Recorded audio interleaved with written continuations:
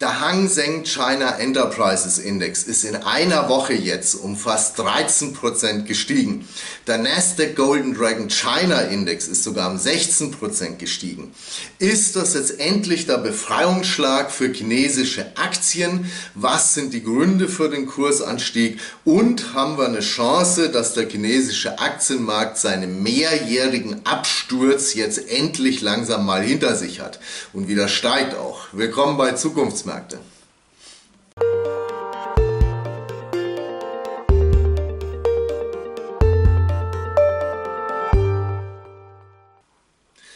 Ist das Sentiment ein guter Börsenindikator? Können wir die Stimmung, die wir feststellen bei den Anlegern, können wir die nutzen als Kontraindikator, um dann in bestimmten Fällen eben zu sagen, hier haben wir möglicherweise Übertreibungen nach unten und hier haben wir möglicherweise eine gute Einstiegschance oder sowas. Wenn man sich jetzt das Sentiment so anschaut für die internationalen Börsen, da würde ich sagen, dadurch, dass wir jetzt ja auch wieder eine Erholung haben, da ist die Stimmung im Moment gemischt. Sieht man hier auch an den Kommentaren. Die einen misstrauen der Erholung, sagen, die Lage ist noch schwierig, die Inflation ist ja auch noch nicht raus aus dem System. Aber andere wieder, die sehen in bestimmten Bereichen zumindest eben dann auch doch wieder Chancen. Also insgesamt das Ganze nüchtern und ausgewogen. China ist eine völlig andere Nummer. Da ist für die meisten im Moment definitiv klar, das kann man nicht mehr anfassen. Wir haben da ein Regime, das die Anleger bestiehlt und belügt und morgen greift China dann ja sowieso auch Taiwan an und wir werden da alle enteignet mit unseren Aktien. Das beschränkt sich auch nicht auf Privatanleger. Das Sentiment bei den Institutionellen, das war auch rattenschlecht dieses Jahr für China gipfelnd in einer Studie von JP Morgan vor ein paar Monaten, in der China bezeichnet worden ist als uninvestierbar. JP Morgan hat sich davon dann wieder distanziert, aber da war es dann auch schon zu spät, da war die Studie schon raus. Und wir hier, äh, wir kriegen ja auch Leserzuschriften zum Teil. Inzwischen muss man sagen, am Rande des Nervenzusammenbruchs teilweise und auch mit persönlichen Vorwürfen natürlich, wie man denn in so einer Situation A so verantwortungslos und B so blöd auch sein kann, dass man sich mit so einem Markt überhaupt noch beschäftigt beschäftigt und ihn damit ja vermeintlich auch promotet. Und ich kann es auch keinem verdenken. Die Leute haben Geld verloren, sie sind schwer enttäuscht von China-Aktien und sie haben natürlich eben auch mit Entsetzen gesehen, wie in den letzten Jahren da eine Hiobsbotschaft nach der nächsten reingekommen ist. Und mir ist natürlich auch bewusst, dass dadurch einiges von dem, was für mich eben auch plausibel gewesen ist und was ich ja so auch dann besprochen habe, rein von der Faktenlage eben in diesem Umfeld dann trotzdem auch nicht aufgegangen ist. Darum umso erstaunlicher ist jetzt eben wieder die Erholung, die starke, zu einem Zeitpunkt, wo eben keiner mehr oder kaum jemand an China-Aktien noch geglaubt hat. Und viel ist ja auch eine Frage von der Wahrnehmung. Die hat sich drastisch verändert. Vor 10, 15, 20 Jahren, da war es gerade auch in Deutschland für die Anleger völlig normal, dass man China-Aktien gehabt hat. Und nicht nur das, es war ja sogar so eine Art gelobtes Land auch. Ein Land, wo die Wirtschaft wahnsinnig schnell wächst, wo riesige Märkte neu entstehen und so weiter. Und auch wenn das viele überraschen sollte jetzt, aber China war damals auch schon keine lupenreine Demokratie. Man hat ja jetzt nach dem Parteikongress zum Teil wirklich gar nicht so selten auch gelesen, so Sachen wie China entwickle sich jetzt immer mehr zu einer Diktatur. Da fragt man sich schon, was war, was war es denn bis jetzt, die letzten 70 Jahre. Seitdem wir übrigens auch durchgehend das Taiwan-Problem haben, das war auch immer da, es war auch immer unangenehm die ganze Zeit. Ich habe dazu auch schon Videos gemacht. Trotzdem, China-Aktien waren früher hochpopulär bei uns. Und hier haben wir den Hang Seng China Enterprises Index seit 2003. wo man ja noch die Rallye sieht bis zur Finanzkrise 2008 und auch nach der Finanzkrise ja auch noch mal eine gute Marktphase. Und eigentlich hat China ja auch geliefert. Das chinesische Bruttoinlandsprodukt hat sich seit 2009 in US-Dollar vervierfacht. Dem Markt hat es aber nicht das geringste geholfen. Im Gegenteil, vor ein paar Wochen ist der HSCI unter das Tief von der Finanzkrise gefallen. Das heißt, jeglicher Kursanstieg seit diesem Tief von 2008 ist damit inzwischen weg. Und inzwischen ist aber die China-Wahrnehmung jetzt in der Öffentlichkeit und in der Politik und auf der anderen Seite bei den Anlegern stark auseinandergegangen. Für die Politik ist China immer noch ein Land, das immer mächtiger wird und immer gefährlicher und immer größer und das uns aufkauft und das uns verdrängt. Aber für die Anleger ist es eigentlich genau das Gegenteil. Nämlich ein Land und ein Makroumfeld, das uninteressant ist, voller Krisen, voller Probleme, voller politischer Risiken. Wo ich sagen würde, naja, die Wahrheit liegt sehr wahrscheinlich irgendwo dazwischen. Es ist natürlich nicht mehr so im Moment, dass China vor Kraft strotzt, aber es ist eben natürlich auch nicht komplett im Eimer. Und die vielen Bedenken, die gibt es zu Recht. Nur, wo waren denn die ganzen Bedenken zum Beispiel in der Technologie-Rallye vor zwei Jahren, als hier Alibaba und JD.com und Xiaomi rauf und runter gejubelt worden sind in den Videos? Und wo war da die hässliche Fratze von China? Es hat damals auch keinen interessiert, weil man damals natürlich mit China-Aktien Geld verdient hat. Jetzt haben die meisten mit chinesischen Aktien Geld verloren und die Nachrichten sind schlecht und damit sind natürlich natürlich China-Aktien jetzt für viele völlig indiskutabel. Warum haben wir trotzdem die Erholung gehabt? Das erste sind natürlich die niedrigen Bewertungen. Das war die Voraussetzung der HSCI. Der ist im Moment bewertet mit einem Durchschnitts-KGV von 7,5 und er notiert als Index unter Buchwert. Und wenn man so einen Kursrückgang hat, wie wir ihn da gehabt haben und solche Bewertungen hat, dann gibt es natürlich immer Anleger, die dann natürlich auch auf der Lauer liegen und so einen Markt auch schnell wieder hochtreiben können. Und dann könnte man natürlich auch noch sagen, es ist ja allgemein so, weltweit, dass die Risikobereitschaft der Anleger grundsätzlich wieder steigt. Die meisten Börsen sind ja gestiegen. Das stimmt auch. Man kann es aber nicht eins zu eins vergleichen. Also wichtig ist zum Beispiel, dass chinesische Aktien eben schon ein Jahr länger fallen als die westlichen Börsen. Hier haben wir wieder den HSCI im Vergleich zum amerikanischen Standard Poor's 500 Index, der 2021er noch gestiegen ist auf neue Rekordhöhen, als der HSCI schon lang gefallen ist. Und 2022 ist es bei beiden dann runtergegangen, wobei man davon ausgehen kann, dass dieses Jahr von den großen Fonds und ETFs, die eben breit investieren und die weltweit investieren, dafür China dann auch noch mal zusätzlich Verkaufsdruck dazugekommen ist noch. Aber das globale Sentiment erklärt eben nicht alles. Es gibt noch ein paar andere Aspekte. Für einige fehlt mir hier auch die Zeit, zum Beispiel die Dollarstärke natürlich.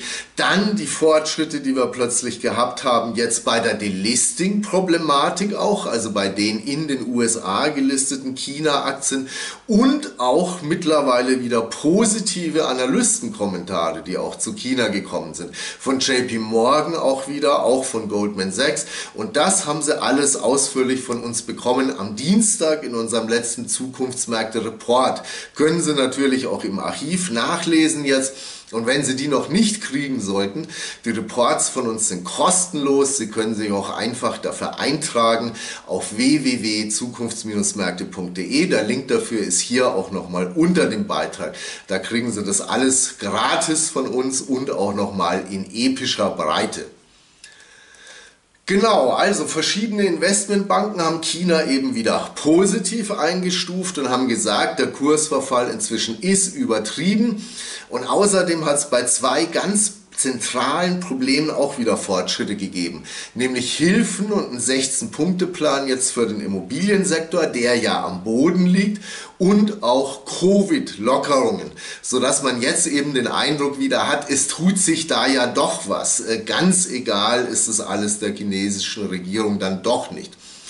Ich würde in beiden Fällen warnen, erstmal vor zu hohen Erwartungen an das Ganze. Also das Immobilienpaket zum Beispiel, das stabilisiert den Sektor vielleicht, der wird aber darum jetzt nicht wieder boomen in den nächsten Jahren. Und die Covid-Lockerungen, das sind auch erste kleine Schritte.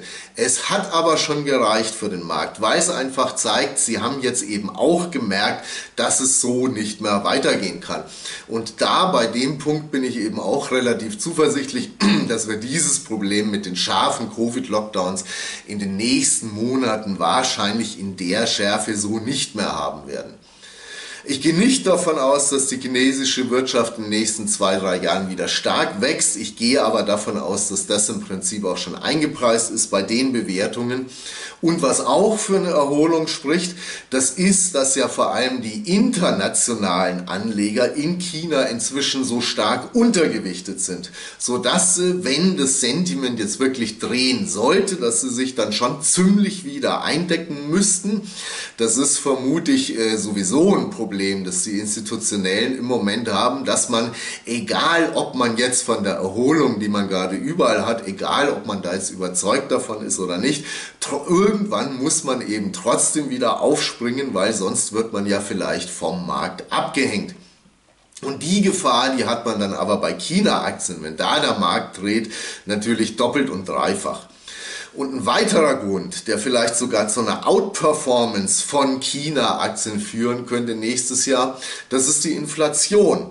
Im Westen, da ist die Hoffnung, dass man die Inflation jetzt wirklich los wird, möglicherweise verfrüht. Aber in China ist die Inflation relativ harmlos mittlerweile. Im Oktober ist sie zurückgegangen auf 2,1 Prozent. Das heißt, China kann sich als eins von wenigen großen Ländern ohne Inflationsgefahr Leitzinssenkungen leisten und Stimuli und nutzt das auch schon, wenn auch relativ vorsichtig. Und das ist ein Aspekt, der dieses Jahr nicht besonders beachtet worden ist an den Märkten zwar, das kann sich aber auch wieder ändern. So dass ich insgesamt sagen würde, taktisch gesehen China ist ein überdurchschnittlich spekulativer Aktienmarkt nach wie vor, aber es wäre möglicherweise ein Fehler, wenn man sich gerade jetzt komplett verabschieden würde aus dem Markt. Und unter einem rein fundamentalen Aspekt würde ich auch sagen, wenn ein Markt im Moment unterbewertet ist, dann dieser. Nur wird es jemals wieder so sein, dass man wirklich China betrachten kann, rein nur unter fundamentalen Aspekten. Sagen wir es mal so, wenn Märkte wieder steigen, dann vergessen die Leute natürlich viel, was sie vorher sehr, sehr beschäftigt hat. Aber äh, trotzdem, auch ich mache mir große Sorgen mittlerweile wegen der geopolitischen Spannungen natürlich und speziell natürlich äh, äh, wegen dem Verhältnis zwischen China und dem Westen, das sich eben sichtbar deutlich verschlechtert, immer weiter, wo ich auch jedem recht geben muss eigentlich, der sagt, China kann man eben wegen diesen wachsenden Risiken nicht mehr vergleichen mit anderen normalen Ländern. Und diese ganze Geopolitik, das ist ein Thema für sich. Ich gehe da auch gern ausführlich nochmal drauf ein, wenn das gewünscht wird. Und es hat jetzt schon leichte Entspannungssignale auch gegeben, auf dem G20-Gipfel zum Beispiel, äh, was ja auch zu dieser Kurserholung jetzt beigetragen haben könnte. Und vorher auch schon der China-Besuch von Olaf Scholz, auch das war schon ein insgesamt positives Signal, ist gut verlaufen. Aber trotzdem unterm Strich, man sieht natürlich seit Jahren, wie sich die Spannungen da immer weiter verschärfen. Und man sieht auch bei den meisten Akteuren auch immer weniger den Willen, Willen, da wieder rauszukommen oder auch nur ein Bewusstsein dafür, dass man da wieder rauskommen sollte auch und eben äh, starke Selbstgerechtigkeit bei dem Thema auch im Westen und das ist schon ein bisschen leichtfertig das Ganze. Es geht natürlich um große Wirtschaftsinteressen. China ist unser wichtiger Handelspartner, das ist eine Gefahr. Es geht aber eben auch noch darüber hinaus. Es geht da wirklich auch langsam ums Eingemachte bei dem Thema um den Weltfrieden, würde ich sagen. Es gibt da schon langsam bedenkliche Entwicklungen und von der Klimapolitik mal ganz abgesehen, wo ein einem ja auch, wenn man da China nicht mit drin hat im Boot, da helfen einem große Verrenkungen hier dann auch nicht mehr viel.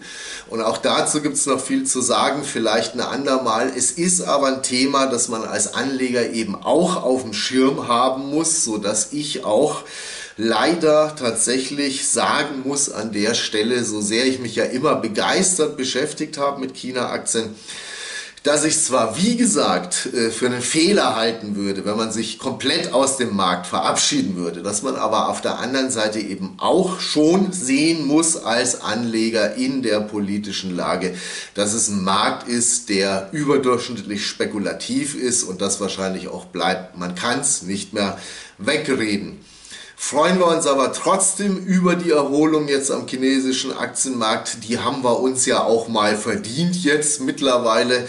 Und wie gesagt, Sie können darüber und über die positiven Kurstreiber, die es ja im Moment auch gibt, da, da können Sie ausführlich nochmal drüber nachlesen in unserem Zukunftsmärkte-Report von Dienstag, den Sie, wenn Sie nicht bekommen haben, noch bekommen können auf www.zukunfts-märkte.de. Alles Gute Ihnen. Dankeschön fürs Zuschauen.